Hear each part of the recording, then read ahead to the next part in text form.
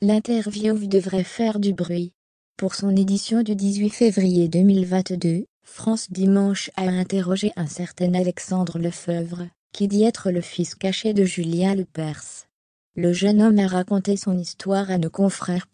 Julien Lepers est un papa comblé. En 1993 et 1998, il a accueilli ses deux enfants Lorraine et Guillaume. Mais si l'on en croit un jeune homme prénommé Alexandre Lefebvre, l'ancien présentateur de questions pour un champion, France 3, aura un troisième enfant, et n'aurait jamais assumé d'être son papa. À France Dimanche, le jeune auteur-compositeur de 34 ans, qui a grandi à Amiens a accordé une interview. Julien Lepers, aurait eu une relation qui a duré deux ans, au milieu des années 80, avec sa maman Véronique. Il l'émenait dans sa garçonnière pour la voir. Jeune et un peu naïve, ce n'est que bien plus tard, qu'elle a appris qui était déjà en couple. Un coup dur pour cette maman qui serait tombée enceinte d'Alexandre le temps de cette idylle. Elle aurait attendu que son fils, ait six ans pour lui expliquer que l'animateur de 72 ans était son papa. À l'école, ce n'était pas facile, les autres enfants, qui ne voyaient que ma mère, me traitaient de bâtard, et se moquaient de moi en me demandant « Il est où ton père ?» Mais jusqu'à l'âge de 13 ans, je n'ai pas ressenti le besoin d'aller plus loin, a confié Alexandre à France Dimanche. Une fois adolescent, le charmant jeune homme a en effet souhaité savoir d'où il venait et qui il était. Après avoir appris l'identité de son supposé papa, il lui a écrit une lettre, afin de raconter son histoire. Puis, à la fin du courrier, il a donné son adresse dans l'espoir que Julien Lepers voudrait le rencontrer.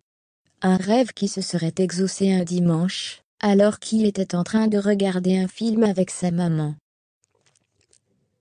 Quelqu'un toque à la porte, et je vois Julien Lepers avec un casque, tenant la main de son fils Guillaume, et celle de sa compagne de l'époque.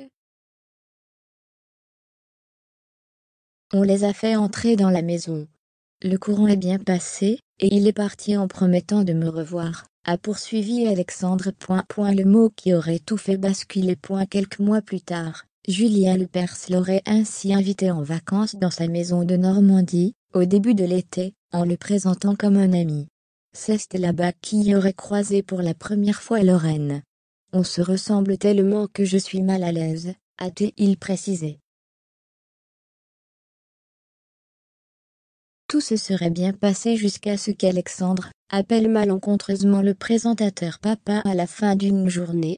Aussitôt il se braque, me dit qu'on est sûr de rien. Le lendemain matin, il me réveille aux aurores, m'avertit que ses parents vont arriver, et que je dois rapidement faire mes valises, a-t-il poursuivi.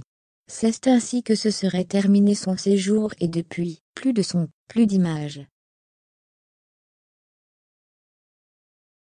L'ancienne star de France Télévisions aurait changé de numéro de téléphone, et ne l'aurait plus recontacté. En 2006, par le biais de son avocat, Alexandre aurait demandé un test de paternité. Trois auraient été réalisés avec à chaque fois, des résultats différents. 99%, 65% puis 50%. Des chiffres qui ont étonné le jeune homme et sa maman. Normalement, les deux personnes testées doivent se retrouver dans la même pièce. Or cela n'a jamais été le cas, a-t-il déclaré. Aujourd'hui, l'auteur-compositeur compte donc bien continuer à se battre pour qu'un test de paternité, sous le contrôle d'un huissier de justice, soit fait. Si selon Alexandre, l'affaire est sans doute terminée pour celui qu'il considère comme son papa, ce n'est pas le cas pour lui. Pas du tout. À quel moment, lui, s'est-il soucié de ce que je pouvais ressentir? A-t-il conclut, quand on lui a demandé s'il appréhendait la réaction de Julien Lepers. Une réaction qui sera à coup sûr très attendue.